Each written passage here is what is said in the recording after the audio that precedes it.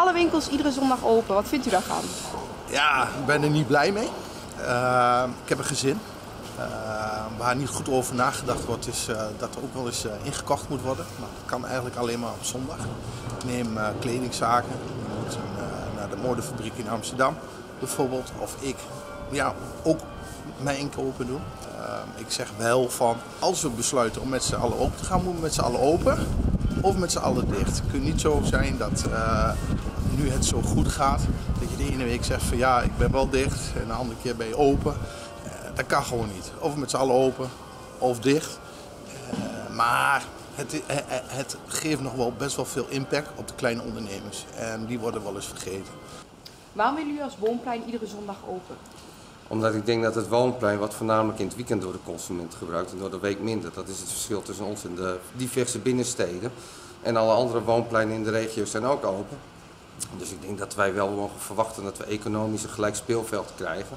En als je geen concurrentievervalsing wil, dan zou ook dit meubelplein open moeten, net zoals Hengelo, Oldenzaal en Almelo dat ook zijn. Want hoe staan die eh, ontwikkelingen er nu voor?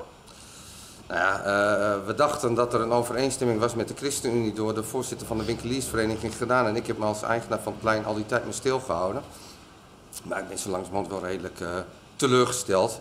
En gelukkig heeft uh, D66 vandaag een tweet gedaan en hebben ze gezegd van uh, wij zijn per direct voor open. En uh, we begrijpen dat ook de CDA in haar politieke programma heeft gezegd van jongens zondag gewoon open.